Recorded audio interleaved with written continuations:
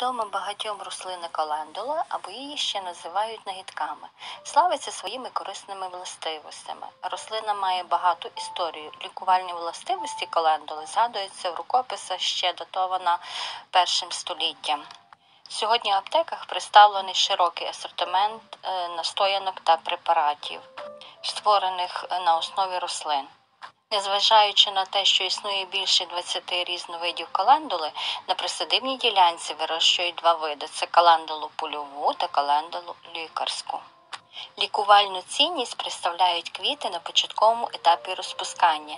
Їх збір е, виконують суху погоду, сушка виконується протягом декількох днів на відкритому повітрі в тіні. Бутони містять активні речовини, це такі як каротин, фітонциди, протеїноїди, органічні кислоти, ефірні масла та інші компоненти. Лікування шкіри використовують відвар колендули. Це 2 столові ложки сухих квітів, заварюють протягом 10 хвилин на водяній бані в 200 мл води. Потім остуджують і проціджують. Відвар використовують для приготування компресів.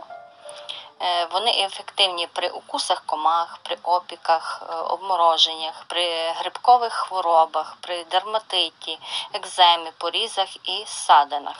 Крім компресів, можна використовувати мазь на основі рослинної олії і свіжих квітів. Для її приготування необхідно наповнити півлітрову баночку свіжими бутонами на 3 четверті, залити доверху рафінованим маслом, оливковим або соняшниковим.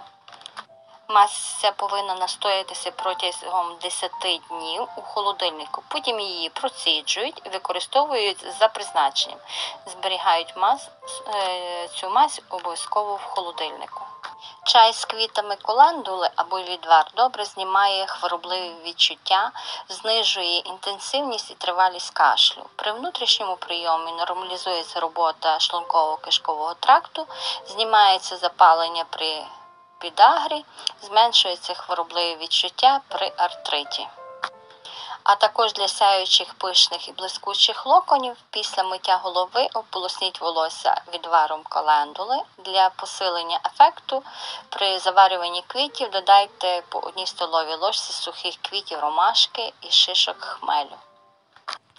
Будьте здорові і ніколи не хворійте. До нових зустрічей. Пока-пока.